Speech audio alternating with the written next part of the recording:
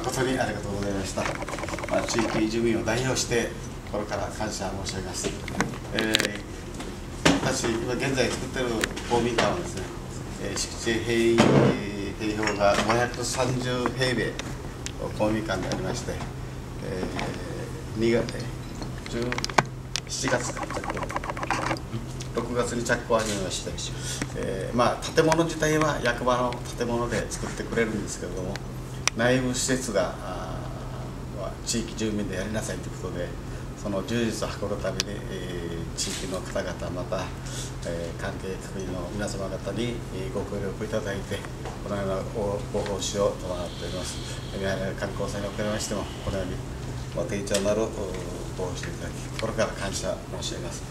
えー、有効にですね内部施設に活用させていただいて素晴らしい公民館を建設していきたいなと思っております。本日はどうもありがとうございました。ということでおかげさまで今あの、まあ、研究校については年間約20個、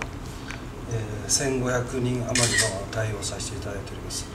あと個人のお客様については、まあ、4月から9月ということで、えー、オプショナルツアー。これはあの全国展開ということで今やっております、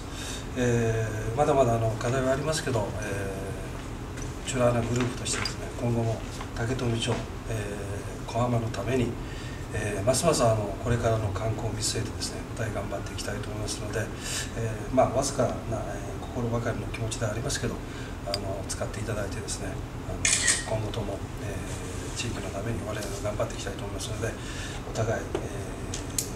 ー、ご支援ご協力の方またお願いしたいと思います。今日本当にありがとうございました